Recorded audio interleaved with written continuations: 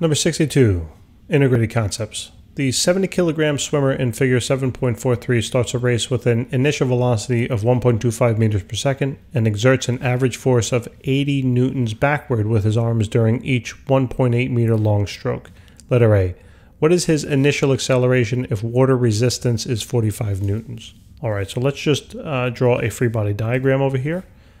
Now it says that, uh, let's just assume he's moving uh, in the right-handed direction. All right, so the velocity is pointing to the right. They told us that the velocity initially here is going to be 1.25, right, 1.25 meters per second. And uh, he exerts an average force of 80 newtons backward, right, with his arm. But the thing is, that force he's exerting backward on the water, but guess what the water is doing on him?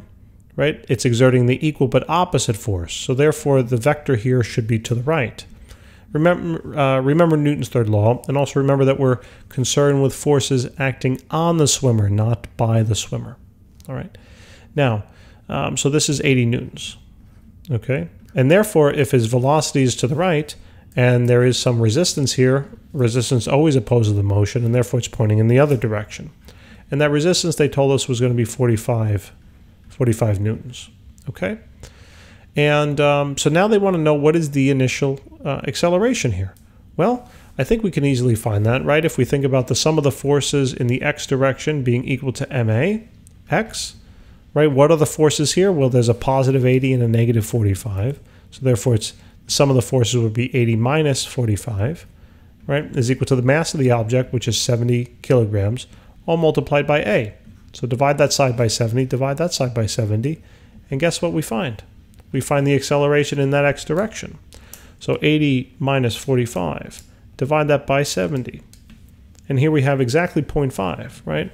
So 0.500 meters per second squared. That will be the initial, uh, what do they say? Initial acceleration, okay, in the x direction. So now let's take a look at letter B.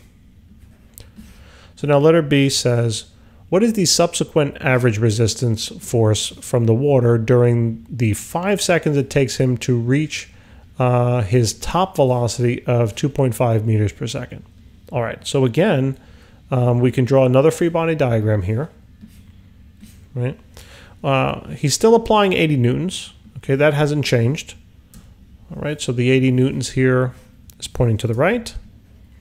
80, 80 newtons uh, still experiencing a velocity in the right-hand direction, although there is an acceleration, right? So let me, not instead of writing the velocity, let me write that the acceleration, there is a value here. We just don't know what it is yet, okay?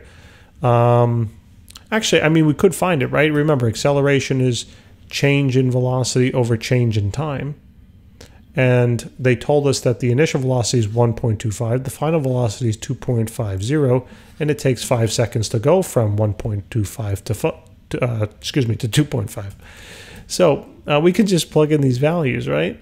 So let's just plug them in, 1.25, all divided by then five seconds. So this actually would be the acceleration.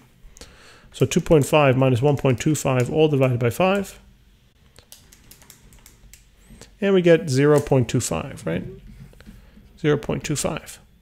Okay, so the acceleration now is less, right, than it was initially.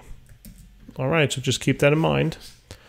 So now we know the acceleration, but we are, we are asked to find the average resistance force. So therefore, this force now must have changed, right? If, if now we have an acceleration that is less than what we had over here, and the applied force is still the same, that means the resistive force must have changed. Right, so let's just call this the force due to resistance. So now I can use the same equation that the sum of the forces in the x direction is equal to max. And it's 80 newtons minus the force due to the resistance is equal to his mass of 70 kilograms multiplied by our new acceleration of 0.25. Right?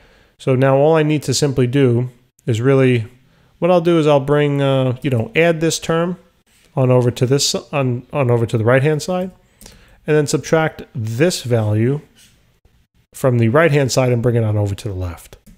Okay, and when we do that, we get that the resistive force is, this is the math, 80 minus 70 times 0.25, 62.5.